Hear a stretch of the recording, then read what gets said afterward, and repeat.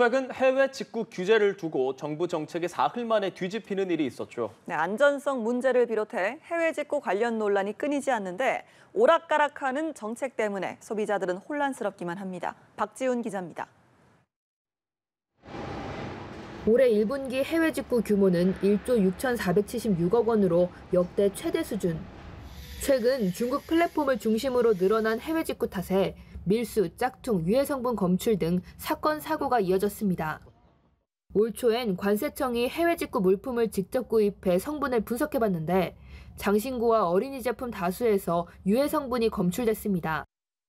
안전 우려가 커지며 물품 검사 강화, 개인 통관 고유부호 관리 강화 등의 조치가 이뤄졌습니다. 하지만 정부 대응이 오락가락하며 혼선을 빚기도 했습니다.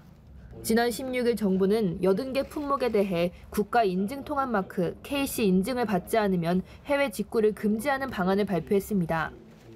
소비자들 사이에선 규제가 지나치다며 격양된 반응이 쏟아져 나왔습니다.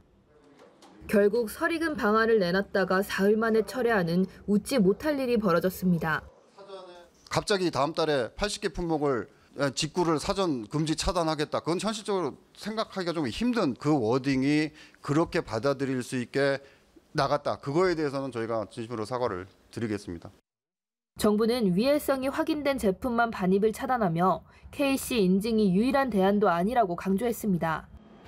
하지만 직구 원천 금지 논란이 잠잠해져도 안전 문제가 해결되는 건 아니다 보니 특단의 대책을 다시 찾아야 하는 정부는 고민이 커질 수밖에 없습니다.